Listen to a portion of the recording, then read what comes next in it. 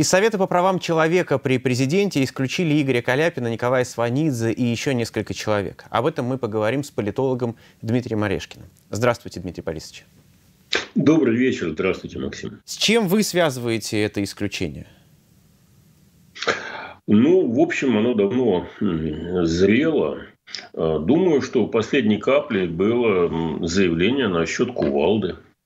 Ну, в общем-то, поскольку речь о гражданине э, Российской Федерации, э, права которого были несколько ущемлены с помощью кувалды, логично было бы задать вопросы о том, как это относится с правовым государством, с тем, что никого нельзя Э, казнить, иначе как приговору суда, ну и многие другие вопросы. Но поскольку те люди, которые там еще оставались, вот эти приличные, действительно просто приличные люди, они не могли не задать эти вопросы, но их за это вышибли.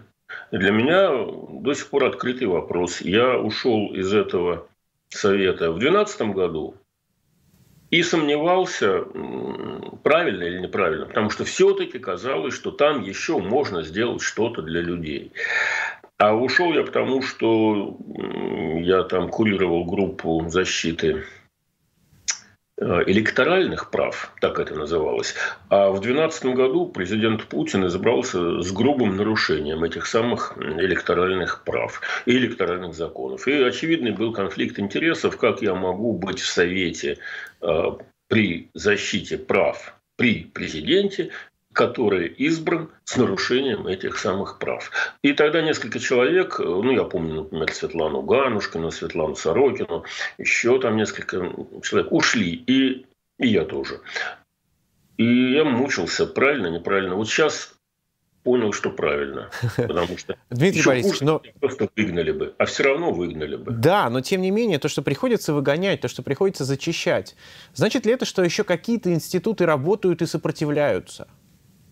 Сопротивляются люди, которые сохранились в этих институтах. Их выкидывают и уничтожают, а институты заменяются имитационными картонками. Ну, например, в Конституционном суде тоже был один судья Константин Ароновский, если я не путаю его фамилию, который один высказался против вот того самого конституционного обновления, э, которое, в частности, позволило Путину идти там на 18-й срок или на какой там еще.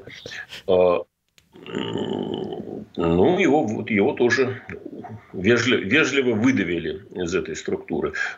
Тоже был, на удивление, в общем-то, приличный человек. А до этого э, Анатолия Кононова выдавили из Конституционного суда. Так постепенно вот люди заменяются, и вместо них э, приходят товарищи типа Кадырова или э, Пригожина. Скоро у нас еще Пригожин будет защитником прав человека с помощью серпа и молота. А, ну, может быть, действительно, в следующий, в следующий набор попадет. Но э, все-таки, если говорить об институтах, остались ли какие-то э, институты, которые сопротивляются? Ну, если вот вы сказали, что про, про СПЧ это отдельные люди, а есть ли какие-то институты, которые еще работают как государственные, но при этом выполняют свои функции более-менее адекватно? Боюсь, что я таких не знаю. Понимаете как? Когда Путин начал уничтожать институты, у меня была некоторая эфемерная надежда, что появляются альтернативные. Ну, например, э, ВАК деградировал до уровня торговли дипломами, докторскими, кандидатскими и так далее.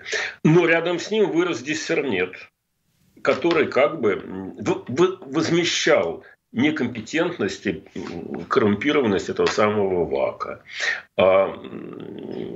Центральная избирательная комиссия деградировала до органа по обслуживанию политических интересов начальства.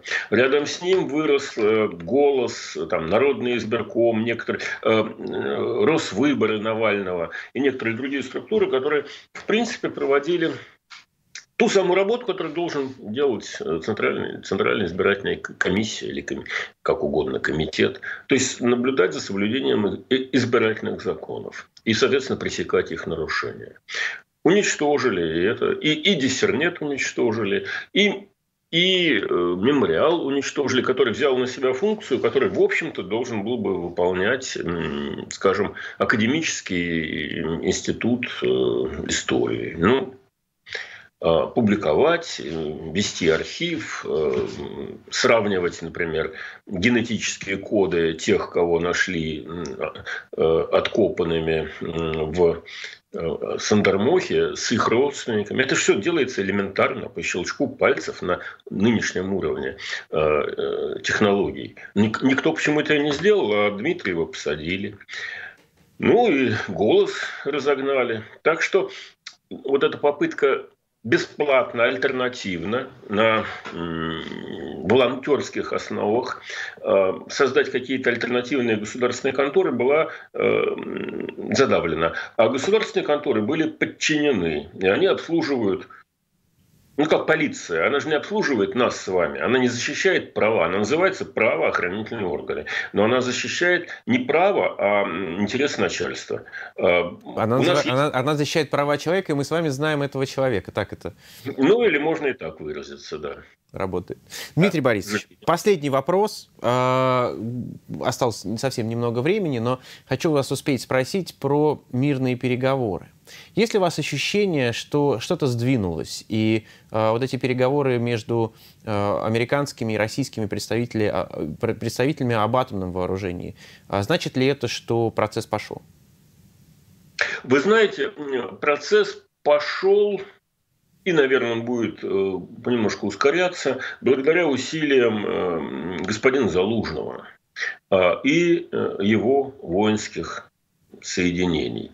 Чем хуже дела идут на фронте, тем чаще в Кремле будут задумываться о переговорах. Потому что, вопреки тому виду, который они собираются делать, они не самоубийцы. И доставать из кармана ядерную бомбу они если и могут, то только для того, чтобы пугать. Взрываться они не очень спешат. А, поэтому, чем хуже дела на фронте, тем чаще Владимир Путин просыпается с мыслью о том, что хорошо бы зафиксировать вот эти вот условия, которые вот сейчас сохранили. Вот хотя бы сохранить ту территорию, которую он сейчас контролирует. Но точно так же каждое утро господин Зеленский просыпается с мыслью, что продвинуться дальше Путину не удалось, а украинцы продвигаются полигонку и улучшают там противоракетную оборону и так далее. Так что э, Путин проявляет все большую мягкость под давлением Украины и Запада, а Зеленский вполне естественно проявляет все большую жесткость. И его вполне можно понять, потому что если он сейчас э, затеет переговоры, э, те же военные, тот же Залужин, скажут, батенька, мы кровище тут пролили немерено, мы научились воевать, мы готовы пахучими тряпками, хаймерсами и прочими подручными средствами выгонять э, агрессора за пределы наших украинских территорий. И тут ты затеваешь переговоры. А не ничего, я думаю, что чего. И поэтому переговоры... Запад, на самом деле, наверное, хотел бы провести эти переговоры, потому что он не крайне нервирует его ситуация нависающего ядерного конфликта. И плюс к этому он уверен, что он Путина победит в мирном соревновании быстрее, ну не быстрее, но надежнее, как, собственно говоря, Рейган победил Советский Союз. Не на войне, а в мирном соревновании. А, поэтому они хотели бы э, законсервировать эту ситуацию мирно потихоньку Владимира Владимировича э, Путина удушить его же трубопроводной империей. А Украине, естественно, такой вариант не подходит. Ей надо вернуть свои территории. Ей не хочется уступать. И тем более, что у нее начинает получаться. Так что я не очень оптимистичен насчет мирных переговоров. Хотя, да, вы правы, какой-то сдвиг э, обозначается. Во всяком случае, об этом стали говорить все чаще.